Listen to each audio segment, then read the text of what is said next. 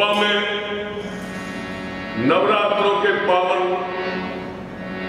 समय में श्री माता जी की नवरात्रों की पूजा में माँ को समर्पित कुछ भजन प्रारंभ करेंगे।